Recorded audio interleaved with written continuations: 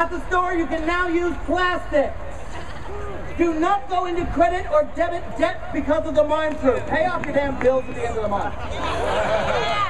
And, oh, I'll talk about that later. So, also, one other thing. Now, by now, the actors and musicians have surrounded you. This is your chance to pay for free theater. Now, there are people who will come up to us and say, Michael, I love the Mime Troupe. I've seen you guys for the last 10 years. I love everything. Every year I give you five bucks.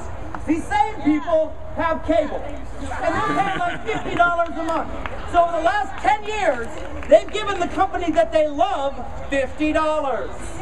They've given the corporate bastards that they hate 5,000. So, over 5,000. So, when you're trying to figure out how much money to give us, keep this shit in perspective.